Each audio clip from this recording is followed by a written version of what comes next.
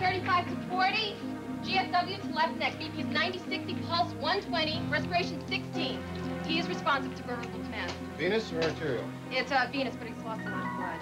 Very good, sir. I think he won the golden prize here. It is venous. Okay, he's got a good airway, no stridor. Tell you what, this is looking awfully familiar. I can feel the exit wound. Eyes equal and reactive. All right, let's get him x-rayed. Looks like another one of Newman's, huh?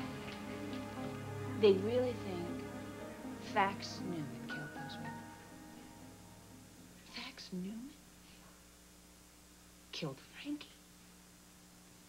No, I, I, no, I just don't, I don't believe that he could have done that. I, I know, believe it sounds unbelievable, believe me, but apparently there is a large amount of evidence pointing to him. Starting with uh, him being responsible apparently for the death of a patient in Chicago, and then him changing his name and forging his medical license. And the biggest piece of evidence that they found, the fibers in his car, Fax's car, match those found on the victims. My God. I went out with the man. I had dinner with him. I, I, I laughed at his jokes. I let him buy ice cream I know, myself. Sharlene, believe me, you're not alone. None of us had any idea. I just, I, you know, I wouldn't know. Oh, he's a fine doctor. He treated Josie when she was shot.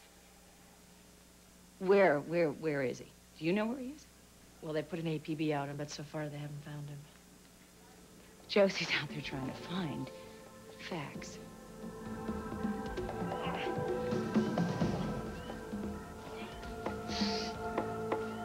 You're sick. You know that you're a sick murderer. You killed Courtney and Frankie. They had to be removed. Frankie was the most wonderful person I ever knew. You took her from me forever. I should kill you right now. Look at you. Gun in your hand makes you feel strong, doesn't it? But you're terrified of using it. You don't want to shoot me. In fact, I don't think you can shoot me. I think if I came over there right now, I could take that gun right out of your hands and you wouldn't even put up a fight. Test me, Newman. Don't test me. Back off. Ozzy! Ozzy, run, get help. The way your hand is shaking, little girl, you're gonna need lots and lots of help. Remember the medical report? Psychosomatic. The shaking's all in your head. You're cute, but you're one pathetic cop. How you feeling now, Officer Watts? Do you feel power? Do you? Shut up. Shut up. Sit down. Sit down. Sit down. Put your hands up. All right, all right, all right. Go.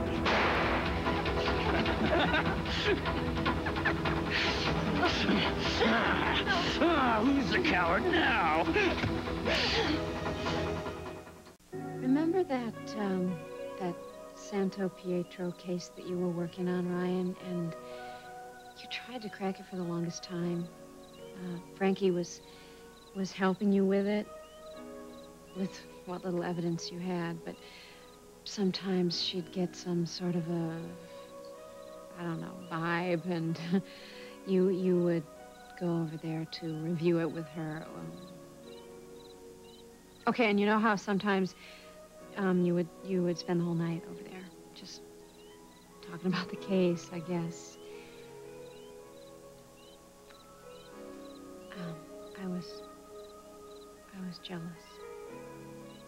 I was jealous of um, the time that you spent with her, and I envied her. I really envied her for getting to spend that time with you. It's just, you know, she was so smart and, and so completely capable. And I know you admired that in her, and I admired that in her, too. I really did. I uh, couldn't really blame either one of you for wanting to be each other's partners. It's just that I think sometimes I wanted to play, too. Sometimes. I have to be really honest and tell you that I almost I wanted to be Frankie so that I could share with you what um, she got to share with you.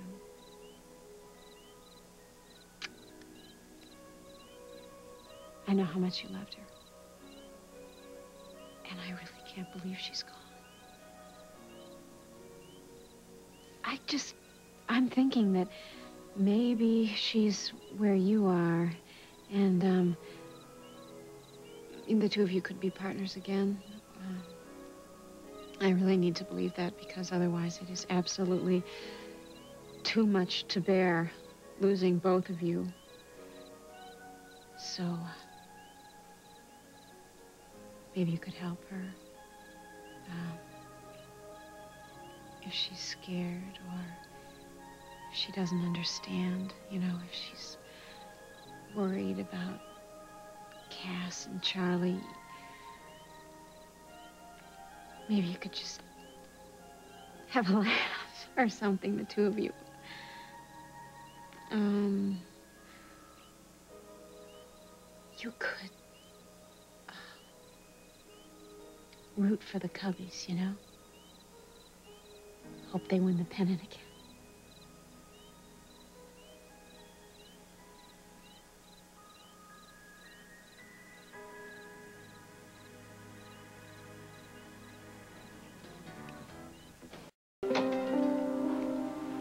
Sharlene, are you feeling better? Cass told me what you did for Frankie's memorial. When you had everybody read that passage from the Bible out loud together. Well, I just hope Frankie was listening. Sounds perfect. Sounds exactly like what you would have wanted, and I thank you for taking care of everything.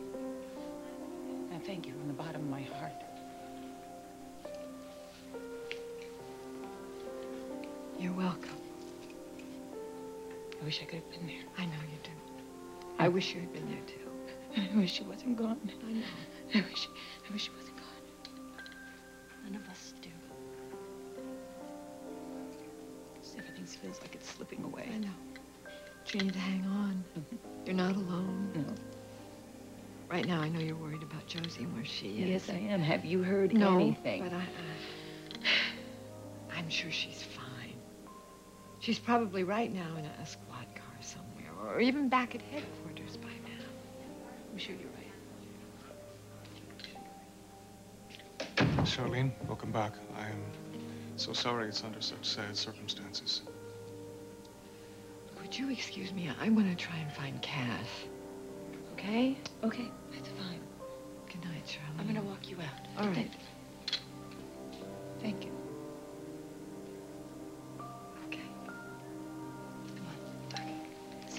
Okay, okay. Uh, Felicia, please be careful. I will. I promise.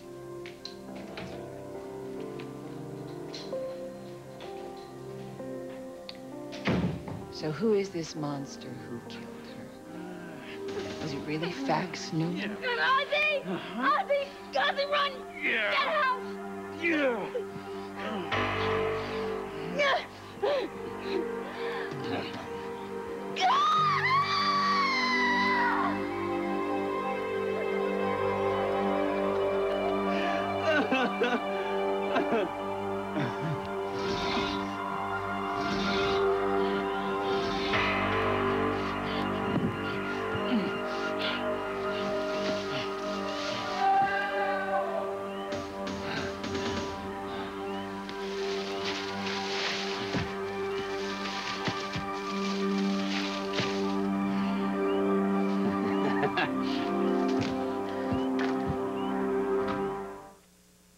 I think Rita's going to sleep well tonight, knowing that her son's going to be okay.